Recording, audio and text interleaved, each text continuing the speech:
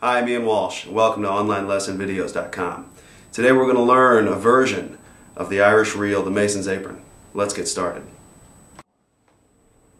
We'll begin by breaking the first part up into four different sections. Let's start on the E string and walk up to the high A.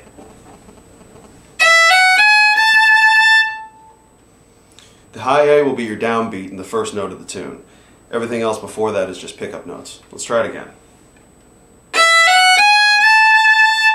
You can also do it without slurring.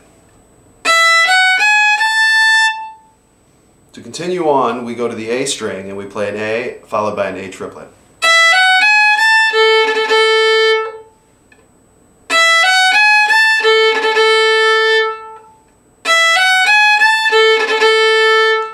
Let's finish out this section by adding what's left on the A string. C, B, A are the notes, and it's played like this.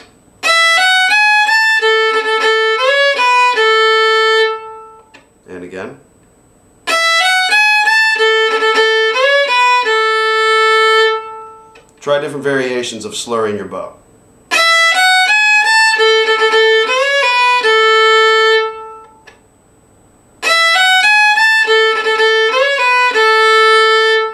Let's continue on to the next string.